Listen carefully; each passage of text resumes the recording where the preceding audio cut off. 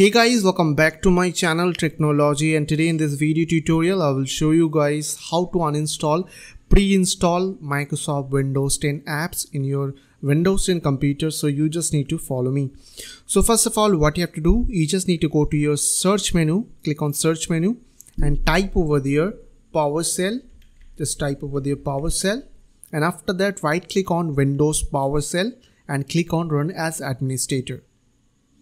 Now after open PowerShell, you just need to put some command over there which I'll give you on my video description. So the first command is called get uh, Appx package all user. This one you need to copy paste this command from my video description or you can manually type on your PowerShell. Okay, so I will copy paste from my notepad as you can see. So just copy. Either you can uh, just Control V, just press Control and V together from your keyboard or else you can right click over there it will automatically copy paste over there okay? So as you can see so now if you press enter it will show you all the uh, Microsoft Windows 10 uh, apps name and package full name over there okay? So suppose if you want to uninstall some pre-install apps on your Windows 10 computer so what you have to do you just need to copy paste my second command on your PowerShell okay?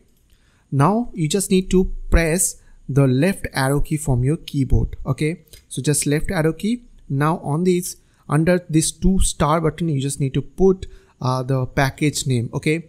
So the suppose I want to delete Microsoft uh, Skype app so I just need to copy the package name from here. Or else you can just copy this name from here also okay? Now what you have to do I just need to right click over there. Okay sorry. Uh, here is a Skype app now just if I'll right click over there it will automatically paste the uh, app's name over there okay? And if I'll press enter now it will remove the Skype app from my computer. So I will show you another app uh, which I'm going to delete from my computer. So suppose I want to uninstall this Windows Feedback Hub. So just copy paste this name and put the same command. Just you need to remove this name app's name from here and you just need to right click and it will paste it over there like your app name. And after that if you'll enter it will automatically remove from your computer. So i hope this quick tutorial will really help for you. And please don't forget to click on the subscribe button like button and share button.